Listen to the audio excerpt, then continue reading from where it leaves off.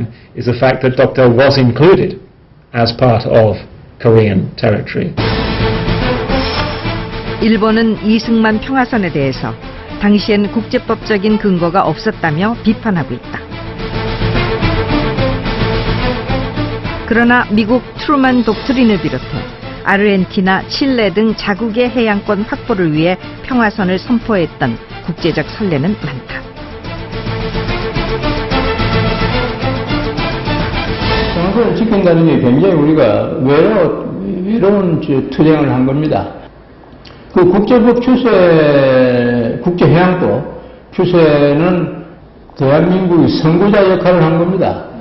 그러니까 그 당시에는 국제법적으로 인정은 안 됐지만 나중에 해양국제, 해양법이 이제 점점 발전하는 과정에서 우리 대한민국 주권선언에 선포하는 그 취지대로 나가게, 나가게 되는 겁니다. 역사의 진실마저 외면해온 일본. 하지만 일본이 독도를 포기하고 한국 영토로 인정한 역사적 사실도 있다. 일본과의 관계를 회복하기 위한 한일 기본회담. 당시 이 교섭은 국내의 엄청난 반발 속에서 어렵게 진행되고 있었다. 한일 협상에서 가장 큰 어려운 점은 어, 사실 그 식민 지배에 대한 배상 문제와 이 독도 문제였어요.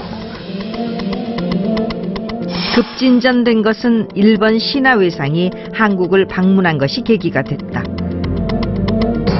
일본 강요로서는 최초의 한국 방문이었다.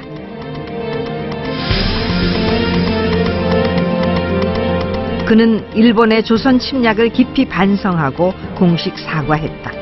이로써 기본조약을 가조인하는 데 성공했다.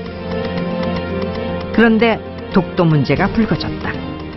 일본이 느닷없이 어, 분쟁 해결에 관한 협정을 하나 맺어야 되겠다. 어, 제안 문서를 보니까 어, 독도를 포함한 그러니까 일본말로 다케시마를 포함한 한일 양국 간의 모든 분쟁은 외교 경로를 통해서 평화적으로 해결한다. 그 이것이 안 될 때는 뭐 어떻게 어떻게 한다. 뭐 이런 식으로 이제 안이 나온 겁니다.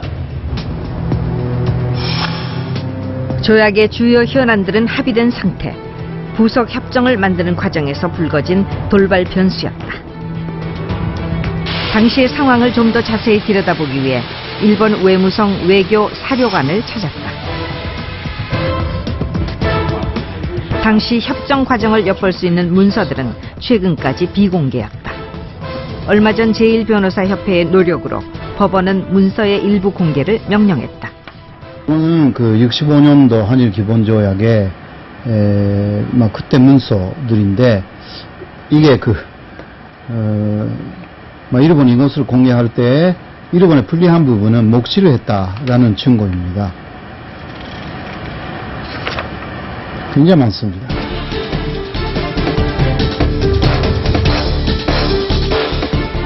공개된 자료는 독도 문제가 무엇보다 뜨거운 감자였음을 말해주고 있다.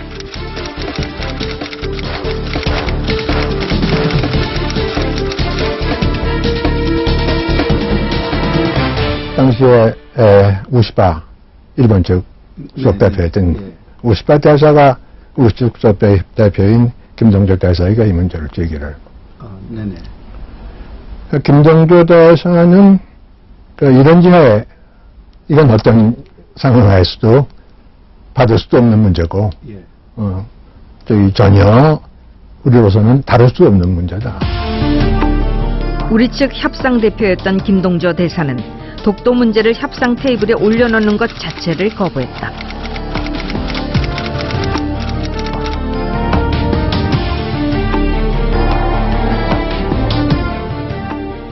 독도를 포함한 어, 모든 분쟁이라고 하는 것은 절대 못 받는다. 그러니까 독도를 포함한이라는 그 표현을 삭제하라고 그랬어요. 근데 일본은 그 삭제 못하겠다.